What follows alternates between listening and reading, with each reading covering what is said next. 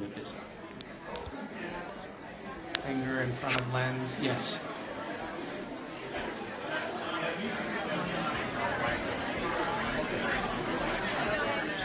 Oh.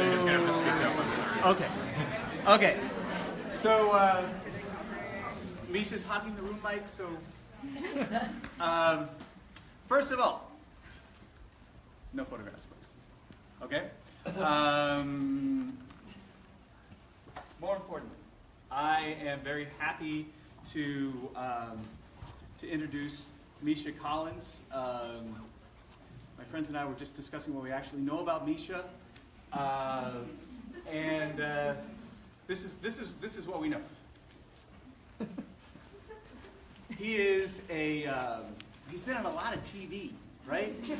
Uh, he, uh, he's, he has been very successful. You probably know him because of his, uh, his role on the show Supernatural, right? Um, you know, uh, he's been on 24. He's been on a variety of other programs. Um, he has, perhaps you are among his millions of Twitter followers, or perhaps you follow him on Facebook. He has this um, enormous and very loyal uh, Twitter following. Am I screwing this up?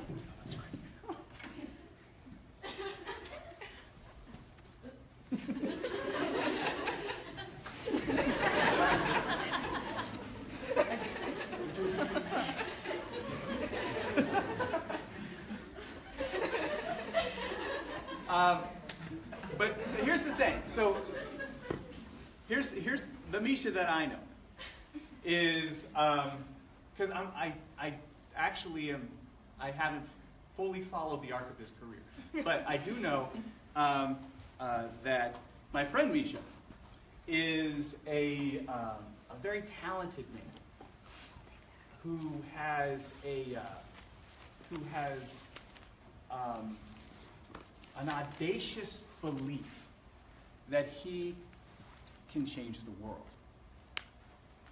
And, you know, most people I think would be very happy with the level of success that Misha is enjoying. The sense I get from him is that this is an instrument which he uses in order to make the world a better place.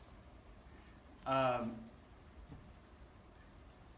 and not only does he um, use his own time and talents to try and make the world a better place, but he is a remarkable catalyst to get the most out of others. You're probably familiar with his nonprofit work with Random Acts and GISHWHES. Um, but the thing that I have noticed about the way he does it is it's not just about him doing something, it's about being a catalyst for others. And um, the, having the opportunity to have someone like Misha come and talk with us about how to develop the kind of presence that he's developed in order to motivate people and uh, create action, I think is a remarkable opportunity for all of us. So I was so very excited when he agreed to come and talk with us. So without further ado,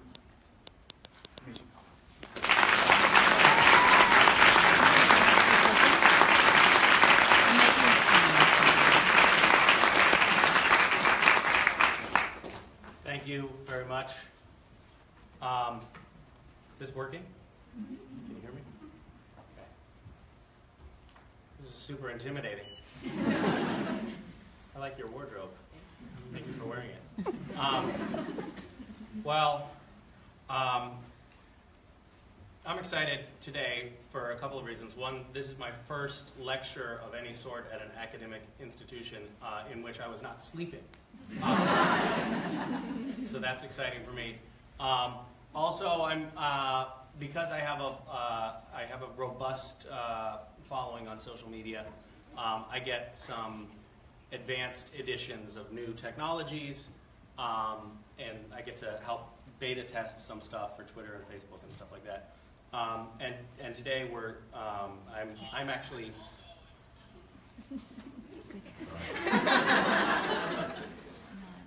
it's a professor. um, so today I'm I'm uh, proud to be announcing that I'm premiering a new technology on Twitter, which is called uh, CHIRP, uh, which stands for, I'm going to read this because I, I sometimes mess it up, it's Conglomerated Hybrid Integrated Robotics Platform um, that we'll be rolling out uh, over the next 10 to 15 years on Twitter. Um, and basically, this stuff right here is all a part of it. And so is this um, cutting edge technology, which I have right here. It's a, um, you probably have never seen this before. It's called a slide projector.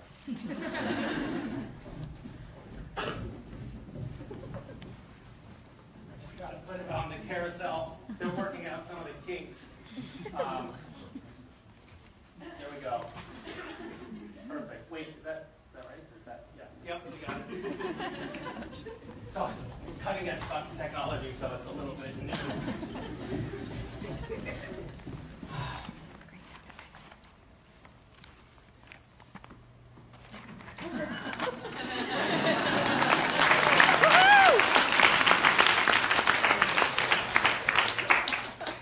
Can't believe I blew that gag by having it turned on. um, so, I, uh, because we are at a university here, I'm going to. Um, am I standing in the right place? Should I be standing back here? Um, I'm going to preface this by saying I, uh, I didn't do a whole lot of uh, research. I didn't look into a lot of peer-reviewed literature for this. Um, nothing that I'm presenting to you is based on data or facts, which in this day and age I think is par for the course. Um, but what I am going to just share with you, and, and you know, this is geared toward marketing and how to sort of get your voice out there and amplified uh, in social media. So that's going to be my focus, and I'm going to use as a sort of test case my own platforms. Uh, and so I'm not going to be casting a wide net and giving examples of things that other people do online because I, generally speaking, try not to pay attention to people other than myself. so the data points that I'm exposed to are just the things that I put out there, and so that's what I'm going to share with you. So what, uh, yeah, what I'm presenting is really basically um, hunches and speculation based on um, no, no, facts whatsoever. So I, I, hope that is good for you professors in the front row. Great. They're happy. They do the same thing. Um, okay, so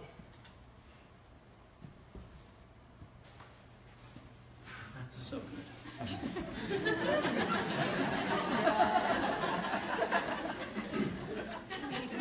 so when I first got um, on a TV show and people started recognizing me, um, my wife.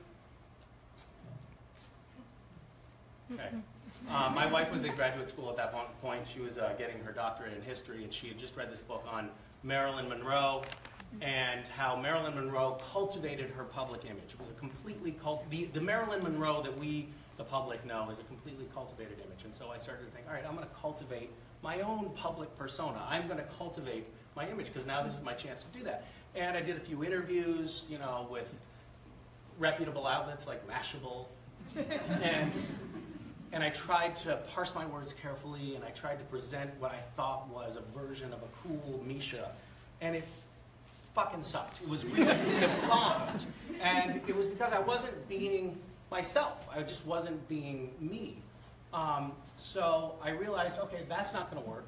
So the version of myself that I have ultimately decided to present online and, and in public uh, is kind of a heightened, playful version of the real me. And that is way, way more effective than something, something that's care carefully cultivated. I had a conversation recently with my friend who lives in town who hosts the NPR show Live Wire, Luke Burbank, and he said um, when people come onto his show and they're just honest, they're just themselves, it doesn't matter what they're saying, the show is always 10 times better than having a more high profile person on the show who is guarded and, and carefully uh, choosing their words. So be yourself to an extent. Um, I have bullet points, don't I? Yep. No previous. So wrong slide for that statement. I'm already on the wrong slide. So I'm going to go back to the beginning. Um, I, I joined Twitter in 2009 because uh, the, the network that I was on, uh, the CW, said, would you answer some questions on our Twitter feed? And I thought, if I answer questions on their Twitter feed, then I'm going to have to, uh, you know, not swear. So I said, I'll just set up my own. And I started messing around, and I had fun. And I had no idea what Twitter was. Um, but I was playful with the, with the platform uh, from the beginning. And that's sort of how I started. And I didn't, I really had no, I didn't know what Twitter was. I literally asked, what is Twitter on the phone call when they asked me to do a uh, uh, Q&A on Twitter. All right, next. This is where I talk about being genuine. Um, oh, I can do this, that second bullet point. Um, so another thing that people make, I think, I see a lot of people making this mistake um, on social media is, and, and this is again from a marketing perspective, but I see people making the mistake of uh, using their social media platforms as a way to get things from people. And if that is your primary motive when you're logging on to your Twitter account, you are going to fail. Because you, in order to be somebody that people want to hear from, you have to be generating content that appeals to them organically. And generally speaking, and there are exceptions to this, most people don't like it when people just ask them for things all the time. Um, so you have to you have to be creating something that is entertaining and that is unexpected and that is dynamic if you want people to really listen to you when you ultimately do end up asking them for something. Um, yeah, have fun. Um,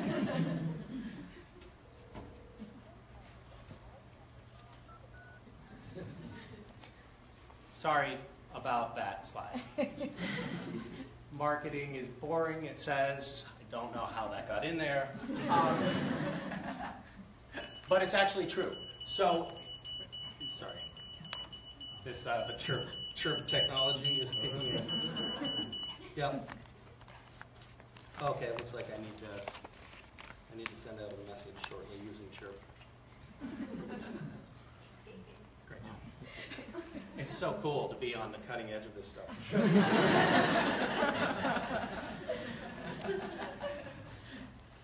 um, every day, people are hearing, you know, buy this product, uh, and they're hearing people selling things to them, and they don't want to hear it. So if you're going to be doing that, mask it. Um, don't don't carpet bomb, bomb with, uh, you know, buy now or, uh, oh great. Are you with Chirp? Yeah. That's Chip right here. Thank you. Have a good one. Thank you. I don't know if I'm supposed to tip or what.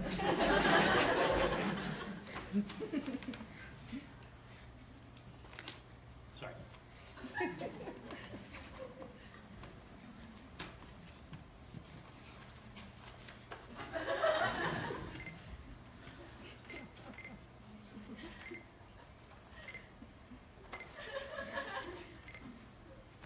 Okay, sending.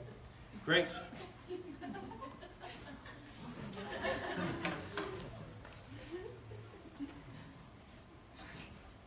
Just gonna wait a minute on that.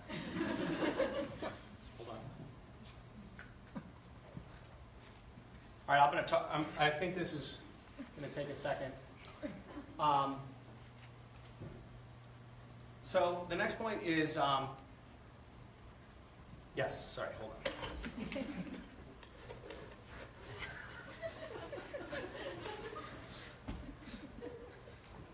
It's a little sticky.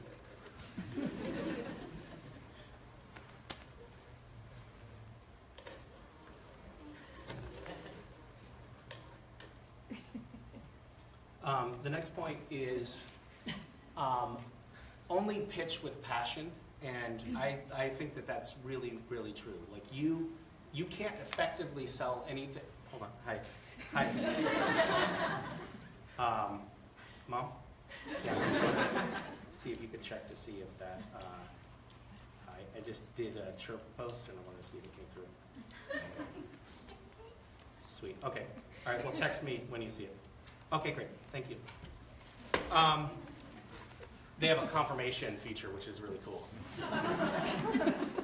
Um, I, so an example of this um, for me is uh, a scavenger hunt that I run. It's called GISHWHES, stands for the greatest international scavenger hunt the world has ever seen. And I push that. Anybody has done it here? Oh, well, a lot of people. That's amazing. Um, so I push that when I market that online. Um, I do it with a fervor, um, but it doesn't feel like I'm prostituting myself on my feed because because I really love it and I really believe in it. I really I really think that it makes the world a better place and that the people that participate in it get something really great out of it. So I don't I don't have any misgivings about pushing that message out there. And there's no way to fake it. When when I'm pushing that message, um, people can tell that I believe it, and so they buy into it more. So if possible, uh, if you end up working for a company, have it be a company that you like and that you care about what they're doing and, and the message that they're sending out. Because otherwise, you're kind of going to be screwed. Because what you're going to be doing is going to it's going to feel hollow, uh, and people aren't going to listen, and you, you're just going to waste your life. Um, use clickbait. It's a great trick. So you just say, um, and everybody says, "Oh, that's clickbait." Clickbait's great. What are you talking about? Um, uh, like, for example, if I'm posting a cooking show of my kids, I'll just post like "not safe for work," and everyone clicks on it because everyone falls for that shit. So, so clickbait is a great tool. Use it all the time. Um, and, and if you're trying to get something out of people, or if you're trying to really send a message that you want to make sure people receive, I try to keep that like as a rule of thumb to something like 10% of what I post, so that people feel like they're getting a lot in return for the ask that you're that you're asking for. Um, okay, so have fun. Um, develop a community and a common language. Um, so what I did is at one point I was on um, Twitter, and I and by the way, I'm using Twitter as an example because I've sort of lived on Twitter more than the other platforms uh, over the years. It, you know, other platforms are emerging as more important right now um, in many respects, but Twitter is still something that I use a lot. So.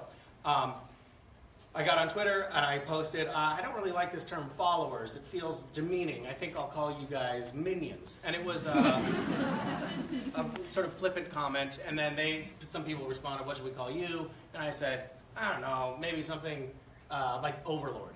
And so that stuck. That was, you know, I think that was back, I can't read the dates right now, but I think that yeah, was 2009 and that's stuck. So there's a lot of people that still call themselves minions, and we still refer to me as Overlord, which set up a really great dynamic. So if you can, if you're if you're developing a relationship with your audience, create um, create themes in your community and make it feel like a club and make it feel special, and set yourself up with a lot of power so that um, you can get away with murder.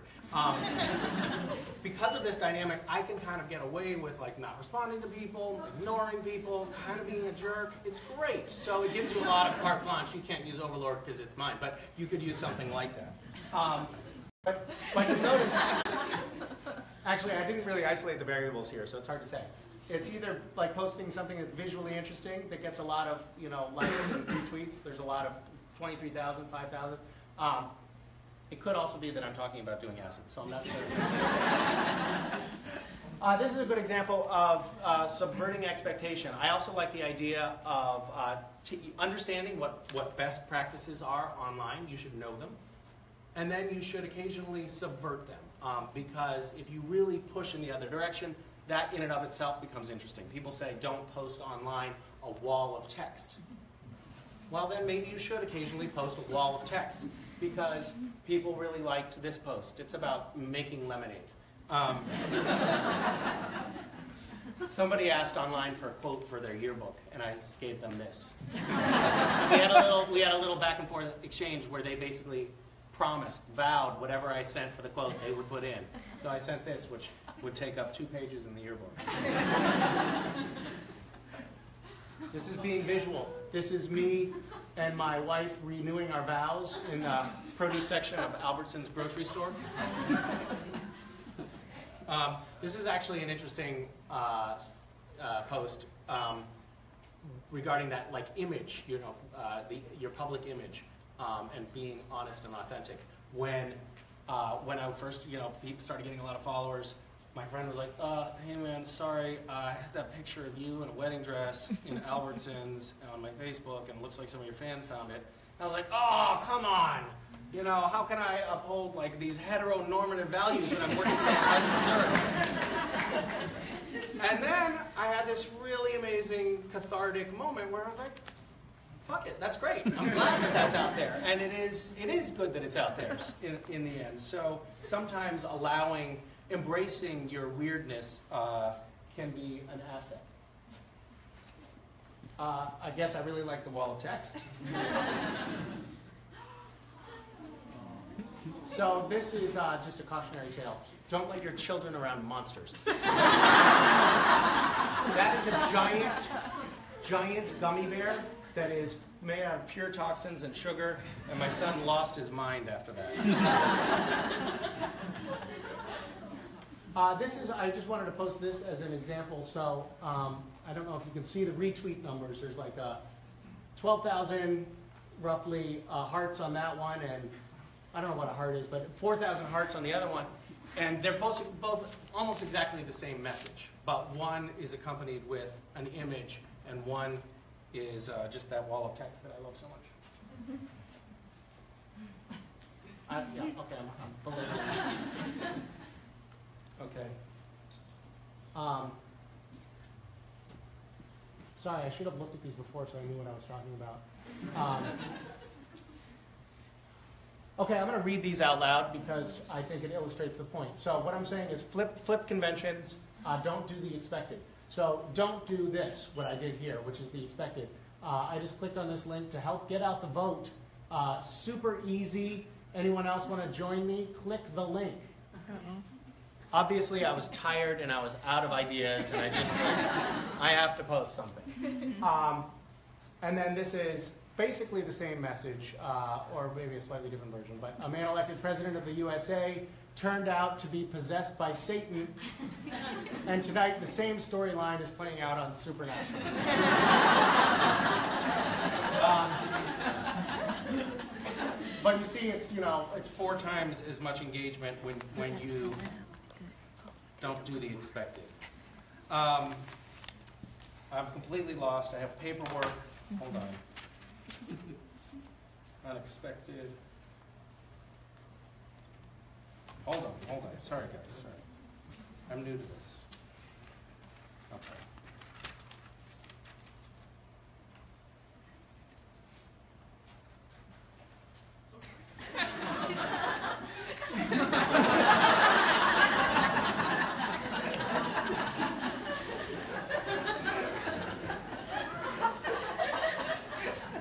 This is just another example um, of doing the unexpected. This is, I was talking about the um, new internet privacy uh, debacle that happened in, in Congress. And what I did is I just posted, um, you know, they're selling our search histories. I don't know what I said, I, should, I could read it. Um, well, I can't read it. Anyway, I said they're selling our, they're going to be selling our search histories. I don't care. I have nothing to be ashamed of in my search history. And then I put together a search history that pretty much anyone would be ashamed of. Um,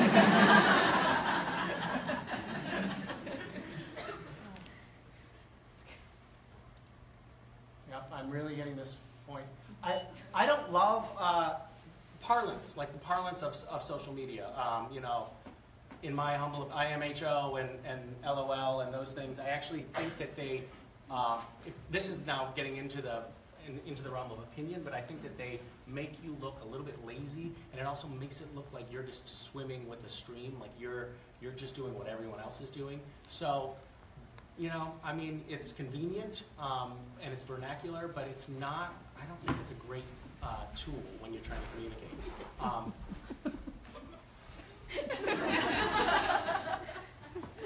This is why we don't normally let professors in these. um, okay, I really hit that point hard. that was actually funny. So we met some people in Bellingham, uh, and and uh, the guy, it was his birthday in the middle.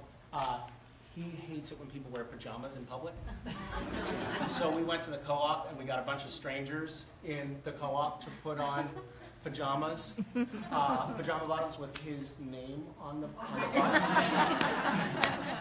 And it took him a while to notice. He's like, there's a lot of people with pajamas on. and my face on. Um, I don't know what this is. Um,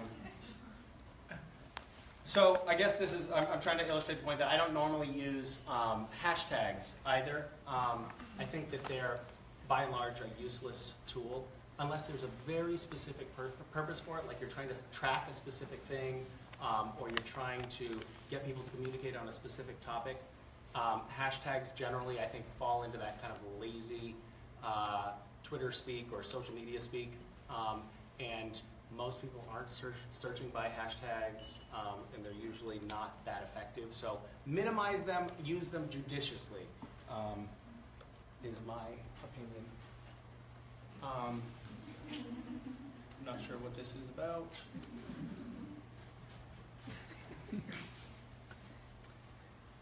Um, okay, so this is maybe I can get into some little bit more long-winded technical stuff. What I'm going to talk about here is what's happening right now. It's going to be obsolete information six months from now, but it just gives you a little bit of a flavor of the things that you can stay abreast of in terms of the technical aspects of social media. So, um, Facebook, uh, by the way, is kind of, if you're looking at things from a marketing standpoint, Facebook is the best way to get any kind of real engagement. So if you want people to click on things, or if you want people to actually buy something, or if you really, really need to get a message out there, Facebook, which we're doing right now, we're on Facebook Live. So by the way, we're live on Facebook, so don't say anything embarrassing. Um, Facebook is um, an incredible tool because A, uh, there are more people on that platform than any other platform, and B, they have so many tools that you can use to reach your audience in a specific way. Um, their algorithms, um, basically, I don't know if you all know this or not, but if you if, if you're a business or a person um, on TV um, and you make a post, typically that post will only reach somewhere between one and five percent of your audience. It will not even make it onto their feed um, because Facebook knows that nobody wants to hear the garbage that you're saying, and so they pull it out. And the way it works is Facebook will send out your message to a very small, select group of your audience. So um, if I make a post on Facebook, I have almost 3 million followers or something. What do you call them? Likes? Likes on Facebook. Can tell I'm tech savvy. And, um, and if I make a post on, on uh, Facebook, it will go out to a few tens of thousands of people right away around the world. Um, and it's sort of like a test that Facebook sends out in their algorithm.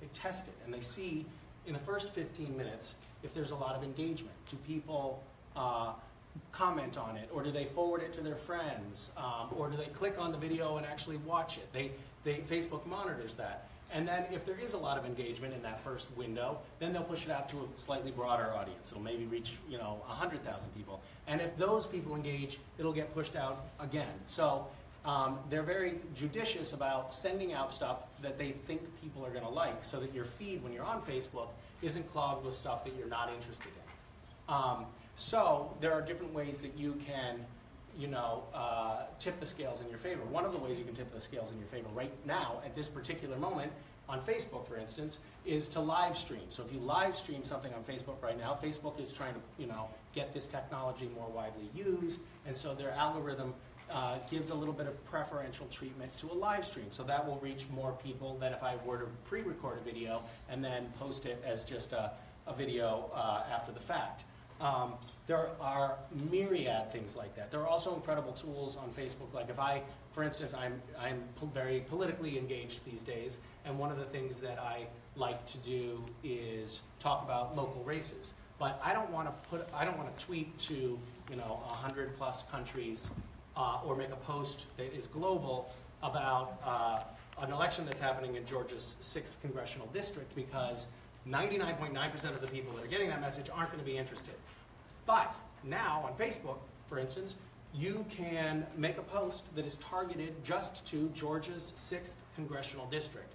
Only people who have put their address in when they, you know, set up their Facebook credentials, who live in that district, are going to get the message, and it won't go to anyone else. And there's two reasons that that's beneficial. One is that there's going to be higher engagement. So if somebody is from Georgia's sixth congressional district and I'm sending them a message, they're going to be like, hey guys, do you see the guy from Supernatural is talking directly to us, and they're going to forward it to all their friends. And so you can really penetrate that local market very, very effectively. If I were to post that broad widely without any uh, geo-targeting on it, it would not go anywhere because there'd be relatively zero engagement on it because nobody outside of the sixth cares. Um, so there are all kinds of functions. You can you can you can uh, filter by demographics, you know, age, sex, uh, uh, sexual identity, whatever you want. You can you can uh, you know, they really. Facebook knows whether you're going to break up with your boyfriend before you do. Um, really, it's actually true. Like they, their algorithm is like, you know what? It looks like they're not doing so great here. you know, she's liking a lot of other dudes' uh, Facebook posts right now. so be aware of that. Um,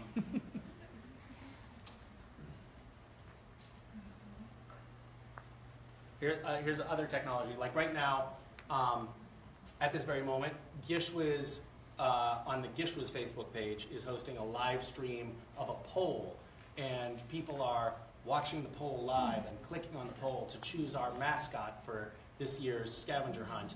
And it just draws people in because there's something they can click, and people are basically monkeys. So, so that's you know that's happening right now. There's a live stream there, and people are clicking, and that's a technology that just became available to be able to do that. Um, so just paying attention, I think, to you know what's happening on these platforms.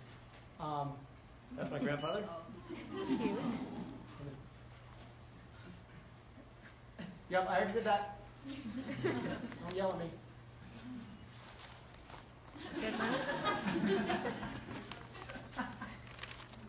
Um, so this is a kind of a conventional best pra- practice that I think a lot of people will tell you.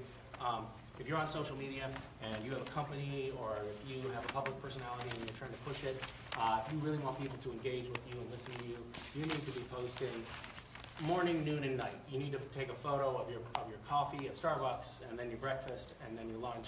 And you got to be posted constantly, and you got to be responding to everybody that replies to you, and you have to have to keep your feed really uh, alive.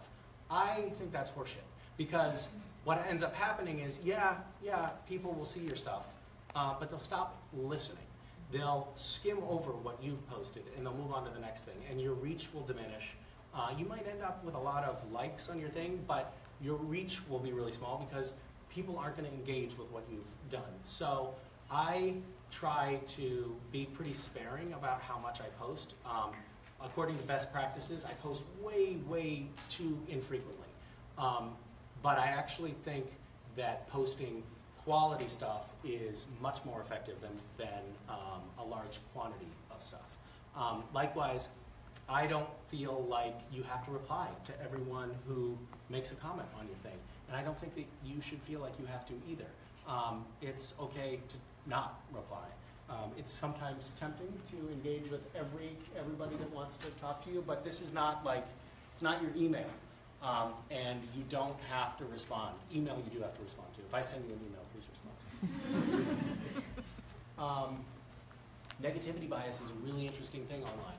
So if you, uh, when I first got on Supernatural, um, I was like, oh, I did. I, they, they signed me on for three episodes, and I was like, God, they're gonna kill me after three episodes. And then they didn't kill me after three episodes. I was like, oh, maybe they don't hate me, but do the fans hate me? And so I would look on these, you know, chat threads after the episodes aired, and I'd be like, oh, what are they saying about me? And there'd be like 150 posts, like, oh, he's so dreamy.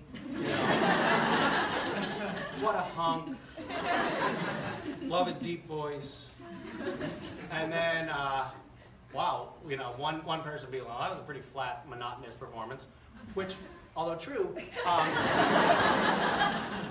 that one negative comment would be the only thing I took away. And all the positive stuff I would ignore because of a very common phenomenon, which is negativity bias. We're actually scanning for, you know, people saying bad things about us. And we will latch onto those like they're really important. And those are the things that people tend to engage with on social media. So if somebody says something bad about you, you, uh, you're like, well, I have to say something back to that person.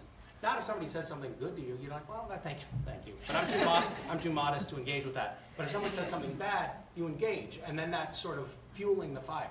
So allow yourself to, um, to sort of take the temperature of the group. And if you're seeing a lot of negative comments, if you're seeing a lot of, well, that was a flat, monotonous performance, maybe spice it up a little bit. But if it's just one or two, um, then you really, you have to be disciplined about letting yourself ignore that, because otherwise you'll go crazy. Um, I don't know what don't set the bar too high is. But it sounds like good advice. Um, All right.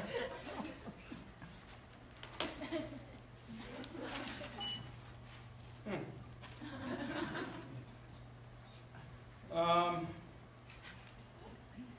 sorry, I keep losing my place. Um,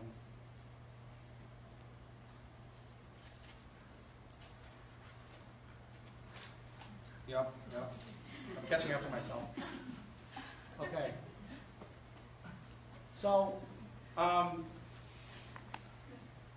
social media is, it is truly social, and it, it is, um, it serves as a proxy for real social engagement um, very effectively, and actually really helps a lot of people.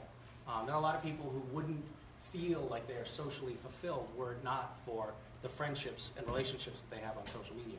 But that said, um, don't I, I'm, I'm saying something we all know, but don't, don't live in social media. Try to have a peppering of real interactions with people, face to face, because nothing supplants that, and also you can't actually be yourself on social media. You are a representation of yourself on social media.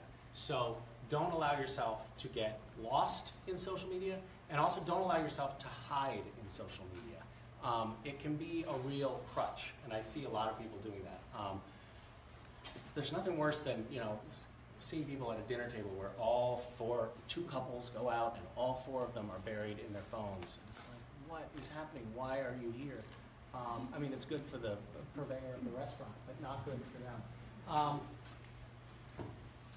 don't take it. Um, don't take it too seriously. The more playful you are, um, the more irreverent you are, the better results you're going to have because people um, are galvanized by that. Um, people are inspired by people who break the rules or break conventions. So um, look for ways to do that. Um, and don't sell your soul, I sort of said before. Um, don't, don't, be, don't be working to sell something that you don't believe in. If you find yourself in that situation, look for a different situation because that's not, um, that's not a really uh, good way to sustain yourself. Um, okay? That's just forced perspective, uh, a useful tool if you can.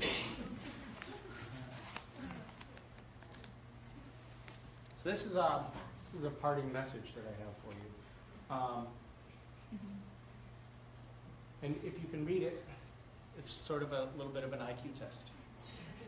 Um, but I'm gonna, I'm gonna summarize here. Um, when you're online, um, yes, it is a representation of yourself, but try to make it as authentic and genuine a representation of yourself as possible. Your results will be much greater, people will listen to you more, and you will feel personally more satisfied in the process. Um, don't oversell things. I use the 90 10% rule. Like 90% is not at all selling or messaging. If I can, if I can stick to that, that's the goal. And 10% is trying to get people on board with something that you that you want to do. Um, be playful and be visual and be irreverent. Um, be informed about all of the tools that are available at your disposal and use them. Subvert the use of them, uh, the the conventional use of them, if you can. Um, uh, quality over quantity. Um, don't give in to negativity bias. It can be very harmful. Um, and uh, and then uh, this is sort of my parting thing, and then I'm going to do a little bit of Q and A stuff if people have time to stick around. I know that we're running late, um, but social media can be used as a tool to market things, uh, to um, to build your brand, to build your own image. Um, but it's also an incredible tool for social change and social mobilization. Um, the Arab Spring happened really, really because of social media. All those protests were organized on social media. Um, there, it's, it, it can be, you know, put into the wrong hands, um, like Putin and his cronies, and they can, you know, they can uh, undermine a democratic process. Um, but it can be used to great advantage if you, um, if you focus on messages that make the world a better place. Um, so remember that that should be your primary objective. Like we're on this planet to make the world a better place, and you have this tool at your disposal um, that is potentially incredibly powerful. It's kind of insane, but I am I'm like this idiot actor on the CW who I can make I can post something on Twitter about politics, and it'll get more engagement than a post from the New York Times. It doesn't make any sense, but I feel like it is absolutely my responsibility to use that megaphone for good. And um, and reasonable people can have arguments about this, but I really believe that if you if you gain enough of a foothold that you have people listening to you, and whether it's 10 people or 100 people or, or 3 million people, um, if you use that platform um, to spread messages that are going to make the world a better place, then you're doing a good job. Um, so that's my parting, my parting message, um, sort of like the moral of the story kind of thing. um, if you guys, I don't know uh, how everybody is on time. You're probably missing classes and stuff. Um, but who cares, right? Tell them you're sick or whatever. Um, would anyone like to ask any questions or comments, criticisms? Do you have stuff that you want to say to me, Eric? Thank you, by the way, for bringing me here. Oh.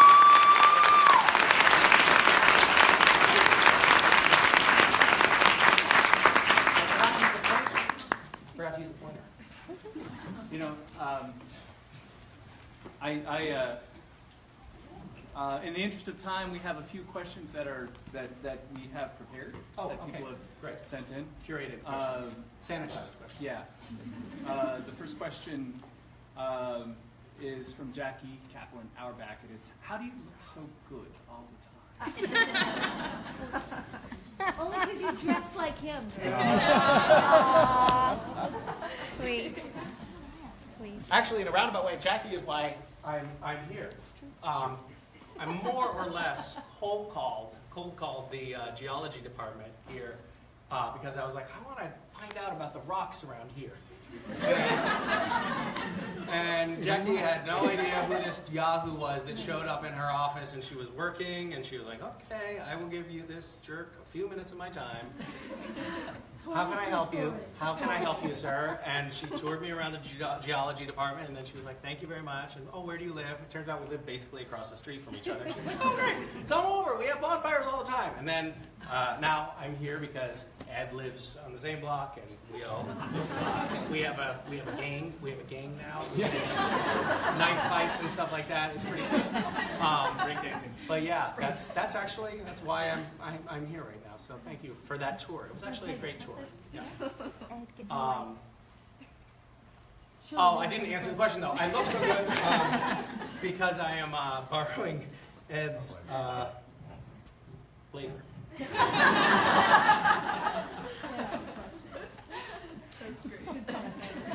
Although I was expecting patches on the, I mean, on the elbow, I'm a little disappointed, but I want to make, next time. um, okay, I, I actually have some student. Okay, good. Um, the first question is from Deanna Todd. Um, I like this question very much. Um, it's a two-part question, but I'm just going to read it as one. How do you perform social listening? Do you try and understand what your audience is talking about? No. um, if there's something, I, I do very sort of broad, I'm a, uh, but I am in an unusual situation because there really is, there's so many posts on my feed and in my, my fandom that it's kind of hard for me to take the temperature um, at a glance. Um, so I do have, I have some people who will email me, like, "You- just so you know, everybody's talking about this. Um, and, uh, and if I see a theme at a quick glance, am I supposed to be talking to this? He's Oh, to am be I supposed to be on that? What? Am I supposed to? The students Should I are stay Oh, I should. This is Um, mine. Or you can use my lapel mic if you want. um, so, um, so I, I don't really, uh, I don't really have a great um, method for, for monitoring that. And in some ways, I think that's good, p- partly because um, things come and go so quickly online, and these memes erupt and then they go away. And if you're obsessed with finding those things, really what you're going to be doing is you're just going to be adding your voice to the uh, to the to the most dominant voice at the moment, and it's hard to stand out if you're really, you know, focusing too much on caring about that stuff. Completely being out of it and missing the boat altogether is not, you know, the the alternative. But um, but for me, that's not a focus. Uh, like like you know, making sure I'm on top of exactly what's happening at this moment, um, because I, I feel like that can actually be a bit of a, a trap to get ensnared in. Um, and then I also, I didn't quite understand the question, so I just talked. Yeah. Okay, and I should mention that, uh, that Brianna is a Fairhaven student. The next question is from Brenna Price, a political science student. Um, how effective is social media in raising awareness for? Um, and how would someone who may not have the same amount of influence or clout as you maybe want to create a social movement to reach a large amount of people? Um, well, I think at this point, I, I, it's hard to imagine how, how people raised awareness for causes in the pre-social media era. Um, I mean, I guess that we, we used to see ads on uh, broadcast television um, for you know big campaigns, um, but it's really really challenging to get messages out without social media. Social media is for sure the best possible tool for that. Um, I I think that um, one one thing to think about if you are trying to get something out there is uh, is to think about how to get other people to serve as nodes for you. So if you have uh, 10 or 15 followers, you can get and you can get those 10 or 15 followers to spread a message to their followers. Um, very quickly, you can amplify your reach. Um, so thinking about not just how to message your followers, but how to how to send a message out there that other people are going to want to propagate for you organically is a really key filter to apply when you're thinking about how to gain um, uh, the, the maximum reach on something. Um, you know, there, there are examples of things that just sort of took off like that, like uh, the ice bucket uh, challenge for ALS was something that was uh, was a sort of a, uh, a domino effect across the internet, um, and that was because it was it, it was designed to get people to reach out to their circles and to get them engaged as well. Um, so, you know, do the ice bucket challenge would be one piece of advice. But I think, um, you know, applying that filter when you're um, thinking about how to um, talk about a cause that you're interested in is really key. And there's also incredible tools out there, um, like CrowdRise, for instance. Right now, I'm running a campaign on CrowdRise, which is a fundraising platform. It is just a really simple interface. Um, this is for Random Acts, and um, and what what I did on this fundraiser is I'm having other people um, do their own fundraisers um, for the same cause. So, so it's not just me that's raising money, but I'm asking other people to raise money themselves and ask their circles of, of friends. Um, a good example of how that worked well was last year in GISHWHES, the scavenger hunt. Um, we um, we found a Syrian refugee family that was living in Lebanon, and we made, an, made it an item in our scavenger hunt to get 10 of your friends. You, people weren't, the participants in the scavenger hunt weren't allowed to contribute to this, but their, their assignment for the scavenger hunt was to get 10 friends to make a donation to the cause of, you know, finding housing, uh, funding for school and medical care for this family. And that very quickly um, becomes, uh, you know, it's orders of magnitude really quickly. Um, we went to bed after posting that and woke up the next morning and had more money had come in than uh, we needed to take care of that family for the next five years. So we were like, ah, we have to find another Syrian refugee family in Lebanon right now that needs help. And so we scrambled and we did. What ended up being over the course of the, you know the next three days, we t- raised two hundred fifty thousand dollars to take care of four families for the next five years. And like they're all moved into apartments. Their schools are paid for. Their medical bills are taken care of. This one girl, I'm gonna tear up. Um, this girl in that campaign who uh, had tried to kill herself because so that there would be enough food for the other kids in her family. Their family had been living in this like rundown tent for, for two years and were running out of food. They were starving. She tried to kill herself twice so that the other kids in her family would have enough food. And you know now they're um, now they're in an apartment that's beautiful, and she's talking about how when she grows up she wants to be a doctor, which is just so cool. Um, but the reason that that worked was we got we didn't just I didn't you know just we, uh, by the way has a much smaller reach. Um, this was like we were talking at that point to a few tens of thousands of people, not to millions of people. But when each of those people reach out to 10 people, all of a sudden you have a really, really big audience, and it can make a really big impact. So that's a long uh, answer to a short question. Yes. That was, uh, that was. Cool. Yeah. That's cool. Um, the next question is from Leanne Ge- Greer, who is an art history uh, major. Uh, when first creating your social media persona, I think you addressed this to some degree, but um, uh, nice to summarize. Did you have any sort of branding in mind for yourself or what you wanted to achieve out of it? Was there a point? Um, you know what? I mean, I, I did address that to an extent with the whole Marilyn Monroe thing, uh, how I want to be more like Marilyn Monroe. Um, uh, but, but if I'm being really honest, when I first started interacting with social media, I was just fucking around and having fun with it. Um, and, um, and I think that part of why I have been successful there is that my initial approach to it was not to promote myself, not to promote my show. I didn't even talk about my. I made a. I had a rule that I would not talk about Supernatural for the first several years that I was on Twitter. I never acknowledged the existence of the show, except for to call it like a reality show about some ghost hunting brothers. Like when I, when, when the network really twisted my arm and wanted me to, you know, um, market something for them, I would, you know, find some contorted way to, to talk about it. But I was really not marketing at first, and I wasn't trying to like build a brand or anything. I was just having fun, and that is part of why it has been successful. I think um, was that I wasn't after something. Yeah.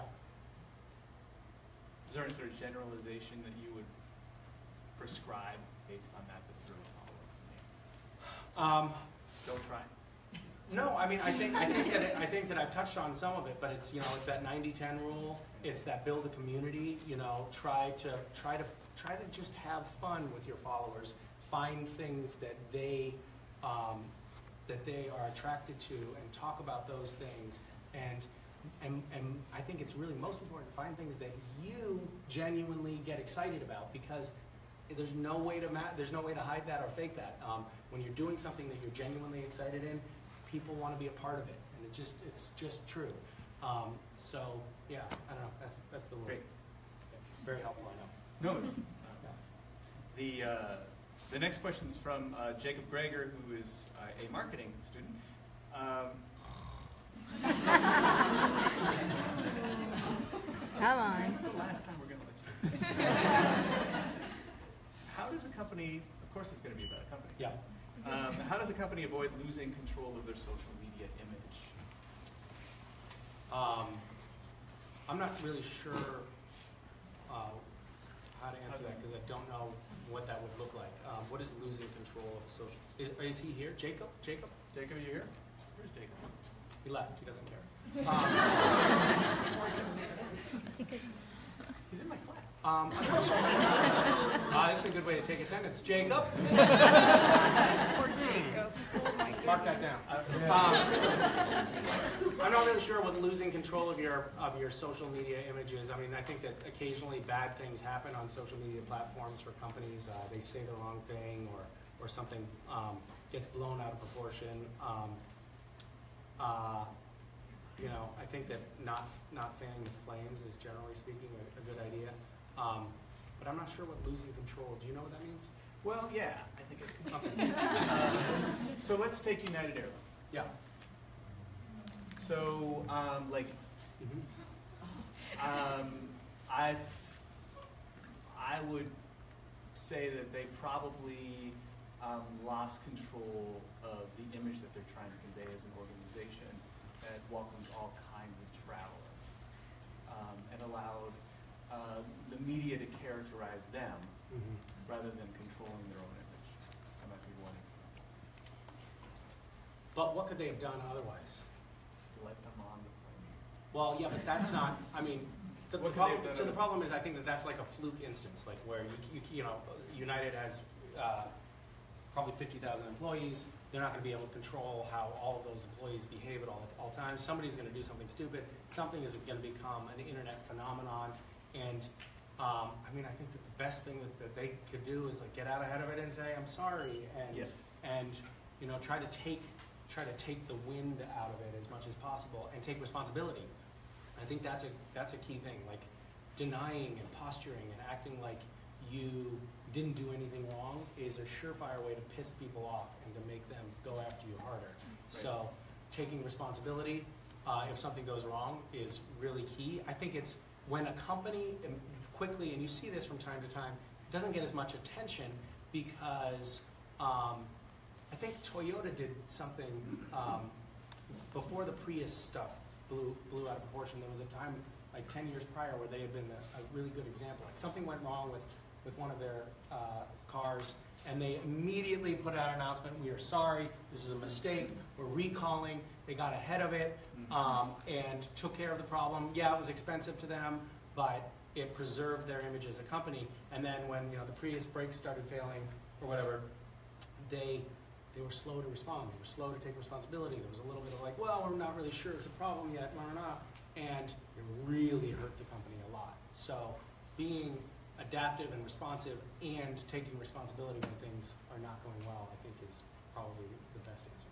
Yeah, I suppose the difference is the, um, and I think that, that the skill that, that Toyota showed in that case is they controlled their brand position rather than having uh, outsiders control the position. In the case of United, United was repositioned by its competitors um, in a way that wasn't friendly to the brand. Um, and it seems that perhaps that was unfortunate, and Toyota or United probably could have handled it in a way where that didn't happen. Yeah. But we can talk about that in class sometime. um, do you want another question? Yeah, let's do one more. Okay. Uh, this one is from William Hancock, who is also a marketing student who unfortunately could not be here. That's interesting. I know.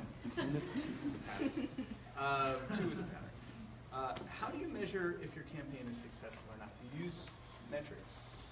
Yeah, I mean, that's the easiest, quickest thing to do is on any given thing that you post online, uh, you can see the numbers of people who are engaged with it, uh, or the number of comments that have come in, and that's one way to measure it. Uh, if you're raising money for a fundraiser, you can see how much money has come in.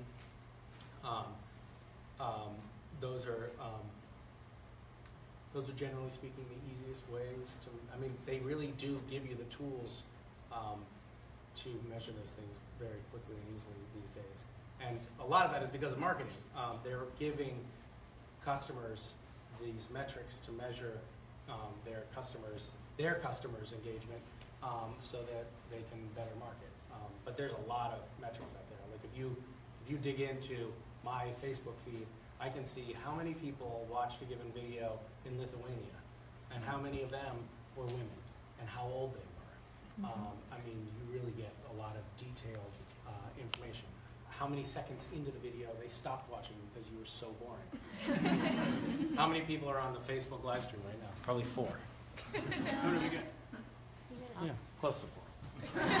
Um, uh, any, any last questions here for people who have hands? Yes? Um, with the ten and ten percent and ninety percent rule, how do you choose which causes are the most important to promote to your family? Prioritize what's important. You know what, that's actually, for me, that's, that's a juggling act and it's kind of hard. A lot of times people will say, hey, would you mind posting this thing? And I'm like, ah, I hate to be the guy that says no, but I'm also trying to raise money right now for my charity, and I'm, you know, we're also, you know, closing in on the season finale for the show, and I don't want to, I don't want to clog up my stream with messages that uh, that aren't really like super important to me personally. I will do, I will do it for friends sometimes, and um, you know, I'm, I'm gonna support my friends, um, but a lot of times I do have to say no, which is like, so it's really hard for me. I really hate doing it, but um, you do have to look at the big picture. And there are, there is this phenomenon called donor fatigue, and people don't want to be asked to buy something or to donate all the time. And if you do that too much, people just tune out. So there's a, there's a point of diminishing returns. You know, if I, if I ask too many times, uh, I'll end up getting less, you know, for everybody than if I had had a few heartfelt, judicious posts. Um, so it's a, it, uh, for me, it's not a hard science, um, but it is uh, something that I calculate for sure. Yes, you have the tallest piece of headdress, so you should ask a question. Thank you.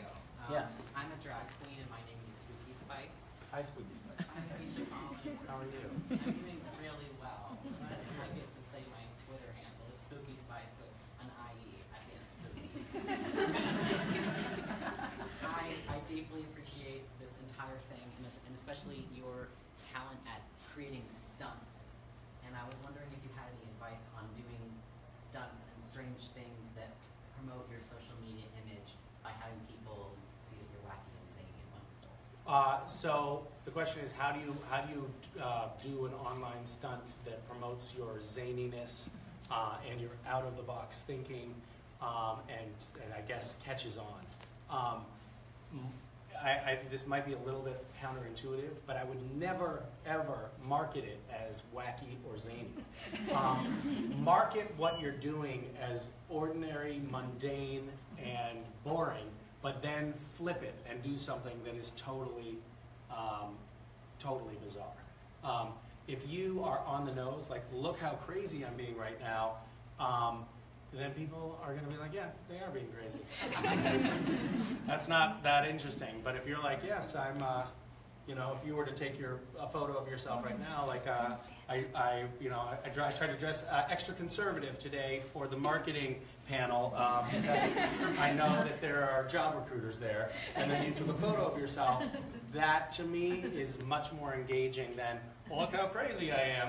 Um, so I, I think that there's definitely something to the framing uh, of your presentation that is good. And then another thing you can do is, like I've said multiple times, flip flip the script. Do something that's unexpected um, with uh, a conventional piece of technology. You know, if there's a there's a standard way that people expect something to be done, do it different. Um, that is a really good way to catch people's eyes. I think. Do we have time for one more, or are we done? Actually, Um, I, We're done. I think we're done. We're good. But I think that, that that's a great question actually to end on. Um, there's a great marketing message in there.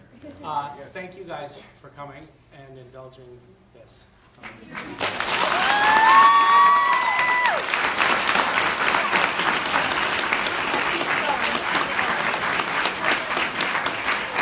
Thank you so much for Well, thank you coming. very much. This was wonderful, neat opportunity for all of us marketing gurus. Yep. So thank you for I presenting love that. I, by the way, it's totally surreal for anyone to bring me to a marketing seminar. I know nothing about it, um, but it was a fun exercise. So thank you.